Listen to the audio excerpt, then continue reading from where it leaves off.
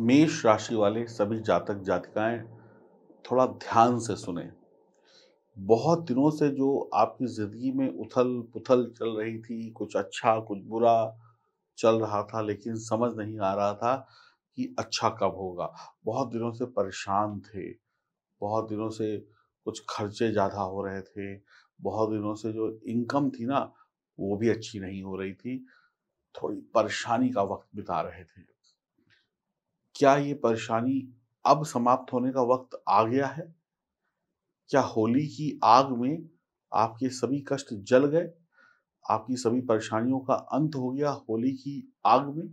होलिका दहन में क्या आप सारे परेशानियों को जलाकर एक नई ज़िंदगी को जीने वाले हैं आने वाले वक्त में? यही मैं आपको बताऊँगा इस वीडियो में। जैसे ही अब 2023 शुरू हुआ, सुनने में आया, मज़ा आने वाला है, पैसा आने वाला है, धन आने वाला है, गाड़ी आने वाली है, घोड़ा आने वाला है, अमेरिका जाने वाले हैं, लंदन जाने वाले हैं, खूब पैसा कमाएँगे देश विदेश से।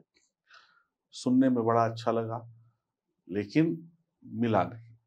कुछ लोगों को मिला, कुछ लोगों को नहीं मिला। जिनको मिल गया, वो चुपचाप बैठे हैं, जिनको नहीं मिला, वो परेशान हो रहे हैं, कब मिलेगा कब मिलेगा कब मिलेगा, बताओ। तो मेष राशि वालों आपके लिए एक अच्छी खबर लेकर आया हूँ। नमस्कार दोस्तों, मैं एस्ट्रोलॉजर सचिन, स्वागत और अभिनंदन करता हूँ अपने सभी मेष राशि के दर्शकों का। आप लोग चैनल को सब्सक्राइब करें, बेल आइकन के बटन को दबाएँ फेसबुक और इंस्टाग्राम पर भी हमें फॉलो करें। अब देखिए, शुक्र ग्रह जो है, वो लग्जरी का ग्रह है, यानी धन दौलत का ग्रह है। पैसा देता है शुक्र। खुशियाँ देता है शुक्र। शुक्र आपके चेहरे की मुस्कुराहट है। शुक्र शुक्र एक ऐसी चीज़, ऐसा ग्रह है जिस, जिसका मज़बूत होता है ना, उसके आसपास खुशियाँ घूमती हैं। जैसे एक खूबसूरत स्त्री के पीछे सौ लोग दीवाने होते हैं। वैसे ही शुक्र भी एक खूबसूरत ग्रह है जिसके आगे, पीछे बाकी सब ग्रह घूमते हैं। तो अब आपके लिए ये शुक्र का परिवर्तन क्या लेकर आने वाला है? आपकी राशि के लिए शुक्र क्या करने वाले हैं? तो ध्यान से इस गोचर कुंडली को देखिए। आपकी राशि के लिए शुक्र देव जो है, वो द्वितीय भाव और सप्तम भाव के स्वामी हैं, जैसा कि आप इस गोचर कुंडली में देख रहे हैं। द्वितीय भाव किस चीज़ का है? वाणी का, कुटुंब का, परिवार का और जमा धन का, यानी जो आप कमाते हैं, उसमें से जो बचाते हैं, उसका। सप्तम हाउस किस चीज़ का है? सप्तम हाउस है वैवाहिक जीवन का पति पत्नी की पार्टनरशिप का, दो व्यापारियों की पार्टनरशिप का, परिवार का। अब सेकंड हाउस यानी कि, जैसा कि आप गोचर कुंडली में देख रहे हैं, इसका स्वामी क्या हुआ? शुक्र। और सप्तम हाउस का स्वामी भी हुआ शुक्र। अब यहाँ पर एक कनेक्शन और जुड़ता है। सप्तम हाउस जो है, उसका स्वामी शुक्र है, लेकिन सप्तम हाउस में शनिदेव अपनी उच्च राशि में होते हैं। और वर्तमान स्थिति में अगर आप देखें तो शुक्र देव जो है अपनी उच्च राशि मीन से निकलकर लग्न में जा रहे हैं, यानी मेष राशि में। शुक्र बैठ गए लग्न में, जैसा कि आपने अभी देखा गोचर कुंडली में। अब शुक्र की सातवीं दृष्टि पड़ेगी, किस पर? सातवें भाव पर, जहाँ पर शुक्र की अपनी राशि है, तुला राशि। तुला राशि में शनि उच्च के होते हैं और वर्तमान में अगर आप देखें तो शनि जो है, आपके ग्यारहवें घर में बैठे हुए हैं, जो कि उदित हैं। उदित का मतलब पहले अस्त थे, अभी उदित हो गए छह मार्च से। तो यहाँ पर कहीं ना कहीं आपके लिए कुछ विशेष स्थितियाँ बनती हैं लाभ की। तो शनि जो है लाभ स्थान में बैठे हैं, लेकिन शनि आपके लिए कर्म के भी स्वामी है, यानी नौकरी पेशा जो भी आप काम धंधा करते हैं, पैसा तो उसी से आएगा ना, नौकरी पेशे से। और यहाँ पर शुक्र का जो परिवर्तन है, वो आपके लग्न में हो रहा है, मेष राशि में, और सेकंड और सप्तम के स्वामी हैं शुक्र। तो अब आपका भाग्य जो है वो असली में चमकेगा। बारह तारीख से आपकी किस्मत में बदलाव आएगा। योग कारक ग्रह का मज़बूत होना, उदित होना आपके लिए, यानी शनि का उदित होना भी यहाँ पर लाभकारी देगा। तो शनि भी आपको अच्छे परिणाम देने वाले हैं।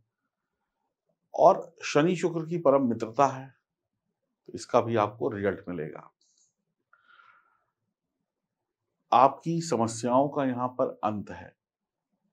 आपकी समस्याओं का यहाँ पर अंत होना 12 मार्च से शुरू हो जाएगा पूर्ण रूप से।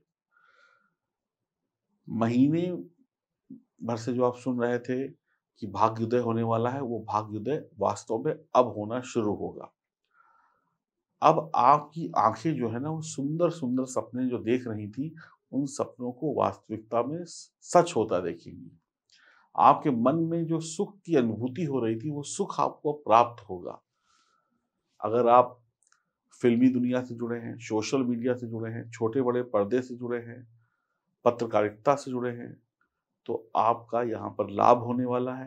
होटल इंडस्ट्री से जुड़े हैं, कंस्ट्रक्शन लाइन से जुड़े हैं, आपको लाभ होने वाला है। आप इंटीरियर डिज़ाइनर हैं, फोटोग्राफी करते हैं, आपके टेंट का काम है, आपका हार्डवेयर का काम है सरिया वगैरह जो होते हैं ऐसे ऐसे प्लाईवुड्स वगैरह का काम है जो, जिनसे चीज़ें सजाई जाती हैं, रंगों का काम है, पेंट वगैरह, इन सब में आपको लाभ होने वाला है। यहाँ पर लाभ की स्थिति बनने वाली है। तो आपके लिए कहीं ना कहीं स्थिति अब बहुत बेहतर होने वाली है। अब यहाँ पर एक और चीज़ आती है, वो चीज़ आती है कि राहु भी बैठे हुए हैं शुक्र के साथ में। यहाँ पर दूसरी चीज़ आती है कि राहु भी बैठे हुए हैं शुक्र के साथ में। तो राहु और शुक्र की भी आपस में अच्छी मित्रता है। तो इस समय में आपको थोड़ा सा ख्याल रखना होगा, क्योंकि राहु जो है, वो आपको थोड़ा सा चंचल बना सकते हैं, भ्रमित कर सकते हैं। तो उसके लिए मैं आपको उपाय बता दूँगा। तो अब आपकी आँखें जो सब सुंदर सपने देख रही थी, वो सपने अब आपके पूरे होने वाले हैं। अब आपके हर काम की तारीफ़ होने वाली है। विपरीत लिंग के प्रति आपकी प्रशंसा बढ़ेगी। लोग आपकी तारीफ़ करेंगे, जहाँ जाएँगे वहाँ पर आपको अच्छा मान सम्मान मिलेगा। आपके काम व्यापार में इज़्ज़त मिलेगी, शानदार होगा। आप कुंवारे हैं तो शादी के योग बनेंगे। आप अपनी उम्र के लोगों में लोकप्रिय हो जाएँगे, जहाँ जाएँगे वहाँ नेता बन जाएँगे। संगीत प्रेमी होंगे, अच्छे कपड़ों के व्यापारी होंगे, मॉडलिंग करते हैं या फिल्मी दुनिया से जुड़े हैं तो वहाँ पे सफल होंगे। आपने जो सपने देखे थे जो लक्ष्य पाना चाहते थे, कहीं ना कहीं अब पूरा कर पाएँगे। ग्रह आपका साथ दे रहे हैं। आप अपना शानदार घर बना सकते हैं। आपको जो पिछले दिनों में आपने जो काम शुरू किए थे, उनका आपको प्रॉफिट हो सकता है, उससे आपको लाभ हो सकता है। अब आप धन कमाएँगे भी, धन जमा भी कर पाएँगे। आप लग्जरी चीज़ें खरीदेंगे, बहुत सारी चीज़ें खरीदेंगे, आपका पैसा खर्च होगा शुभ कामों में। लेकिन राहु भी शुक्र के साथ बैठे हुए हैं तो इस बात का ध्यान रखिएगा। कई बार व्यक्ति उन चीज़ों की भी खरीदारी कर लेता है या उन चीज़ों में भी पैसा खर्च कर देता है, जो उसे चाहिए नहीं होता है। यानी जल्दबाजी, बिना सोचे समझे खर्च मत करिएगा। दूसरा, शुक्र के साथ राहु बैठेगा तो बुद्धि को थोड़ा सा तो भ्रमित करता ही है। और ध्यान से देखें तो शनि की भी दृष्टि पड़ रही है राहु पे तो थोड़ी सी मानसिक चिंताएँ किस वजह से हो जाएँगे? जब आप ज़्यादा खर्च कर बैठेंगे। जब आप खर्च कर रहे होंगे, तब आपको दिक्कत नहीं होगी, तब तो और ले लो, और ले लो, ये भी ले लो, वो भी ले लो। लेकिन बाद में आपको चिंताएँ हो सकती हैं, बुद्धि को भ्रमित कर दिया, अब थोड़ी बहुत तो यहाँ पर थोड़ा सा आपका जो लाभ है, आपका जो प्रॉफिट है, जो आपकी इनकम है, उसको सही जगह पर खर्च करिए, गलत जगह पर खर्च करने की आपकी इच्छा जागृत हो सकती है, कोई गलत सलाह दे सकता है। या यहाँ पर आप दूसरा काम क्या करेंगे कि पति पत्नी के बीच में लड़ाई हो जाए। समझ रहे पति पत्नी के बीच में मतभेद हो जाए, इससे भी आपको बचना होगा। या एक चीज़ और भी हो सकती है कि आप कमाएँ और आपके घर का कोई सदस्य उड़ा दे पैसा तो यहाँ पर थोड़ा सा आपको कंट्रोल करना होगा। आप अपनी पर्सनालिटी को मज़बूत करेंगे, सिंगल हैं तो डबल होंगे, यानी कि शादी के योग बनेंगे। कई बार यहाँ पे इंसान अपने को खूबसूरत बनाने के लिए जिम वगैरह ज्वाइन कर लेता है। अभी तो नया नया जोश चढ़ा है जिम ज्वाइन कर लिया, बीस हज़ार, पचास हज़ार फ़ीस दे दी, लेकिन जिम नहीं गए। साइकिल खरीद ली ट्रेडमिल खरीद लिया, लेकिन इस्तेमाल नहीं किया। तो ये खर्चे भी हैं। एकदम से खर्चा आपने कर दिया कि हम करेंगे करेंगे, दो दिन किया, फिर छोड़ दिया। तो इस तरीके के खर्चे भी आपके हो सकते हैं। शौक शौक में आप अपनी ज़रूरत से ज़्यादा पैसा खर्च कर दें तो यहाँ शौक जो है उस पर थोड़ा सा कंट्रोल आपको करना पड़ेगा। अब मान लीजिए किसी की शादी हो रही है, शादी तय हो रही है तो ज़रूरत से ज़्यादा बैंड बाजे पे खर्च कर दिया, लग्जरी शादी कर दी, जेब में पैसे हैं, सौ रुपये और एक सौ बीस रुपये खर्च कर दिया, दिखावे की दुनिया में भी आप जा सकते हैं। तो भाग्य तो उदय हो रहा है, लेकिन कहीं ना कहीं कंट्रोल भी करना है थोड़ा सा अपने प्रॉफिट को बचाने के लिए सही प्लानिंग्स आपको बनानी पड़ेंगी। अगर राहु की बात करें तो राहु भी लग्न में बैठकर अप्रत्याशित रूप से धन देता है। यानी आपको इतना धन मिलेगा, इतना धन मिलेगा जिसको आप संभाल नहीं पाएँगे। लेकिन खर्चे भी इतने हो जाते हैं कि आप उसको भी संभाल नहीं पाते। तो धन आने के रास्ते को तो संभालिए, बिल्कुल बस संभालिए, धन आता जाए धन जाने के रास्तों को संभालने की ज़रूरत है। वैवाहिक जीवन में थोड़ा सा मतभेद कई बार यहाँ पर राहु पैदा कर देता है। तो उस मतभेद को समझदारी से आपको खत्म करना होगा, बातचीत करिए। कोई भी चीज़ सस्पेंस ना रहे लोगों के बीच में, आपके बीच में। कम्युनिकेशन बना रहे पति पत्नी के बीच में, व्यापारियों के बीच में दोस्त यारों के बीच में। आप खूब कमाएँगे, खर्चा भी करेंगे। अमीर ससुराल में शादी तय हो सकती है। आप इस समय सच्चे आशिक बन सकते हैं। आपके द्वारा किए गए कामों को देश दुनिया में दुनिया देखेगी। बेरोजगारी खत्म होगी, लग्जरी लाइफ शुरू होगी, काम पर फोकस करेंगे, बहुत बेहतरीन धन लाभ होगा। जो भी करें, जीवन साथी की सलाह से करें, जीवन साथी से मिलकर करें। भाइयों से झगड़ा नहीं करें। विधवा स्त्री का आशीर्वाद लेना आपकी सभी परेशानियों का अंत करेगा। हनुमान जी की उपासना से शनि की जो तीसरी दृष्टि राहु पर पड़ रही है, शुक्र पर पड़ रही है, वो खत्म होगी और उसके अशुभ प्रभाव खत्म होंगे और आपका दिमाग भ्रमित नहीं होगा। हनुमान जी की उपासना लाभ देगी। शनिदेव की तीसरी दृष्टि जो शुक्र पर होगी, शुक्र शनि परम मित्र है, राहु भी मित्र हैं शनि के तो सब मित्र हैं, शुक्र भी मित्र है, राहु भी मित्र है, शनि भी मित्र है तो मित्र मित्र एक दूसरे का ज़्यादा बिगाड़ते नहीं है, उन्नीस बीस हो जाता है। तो आप बड़े आदमी बनने वाले हैं, अपने चरित्र को मज़बूत रखिएगा, अपनी पत्नी से रिश्ते या पति से रिश्ते अच्छे रखिएगा वाद विवाद से एक दूसरे से बचना है, बुरी आदतों को त्यागना है, ज़रूरत से ज़्यादा खर्चे नहीं करने हैं, अगर काम दो रुपए में चलता है तो पाँच रुपए खर्च क्यों जाए क्यों किए जाए? शोबाजी नहीं करनी है, दिखावा नहीं करना है, शनिदेव को मज़बूत बनाना है, शुक्र को भी मज़बूत बनाना है, राहु को भी मज़बूत बनाना है, शराब मांसाहार से बचना है, चरित्र साफ़ रखना है, गणेश वंदना करनी है, घर में चांदी की ईट को स्थापित करें, चाहे पचास ग्राम की ईट ही क्यों ना हो। पति के, पति पत्नी के बीच में इस समय में आकर्षण बढ़ेगा, पति पत्नी रोमांटिक मूड में रहेंगे, कुछ लोग घूमने फिरने जा सकते हैं ट्रैवल उनका हो सकता है, काम के सिलसिले में भी, घूमने फिरने के सिलसिले में भी। शारीरिक सुख जो इच्छाएँ कम हो रही थी, कई पति पत्नी ऐसे थे जिनकी रोमांटिक भावनाएँ मर गई थी, वो फिर से जाग उठेंगी। शुक्र है तो कोई गम नहीं है। शुक्र आपके लिए बेहतर परिणाम लेकर आ रहे हैं। शुक्र ग्रह क्या है? शुक्र प्रेम है। और शुक्र को बेहतर करने का उपाय क्या है?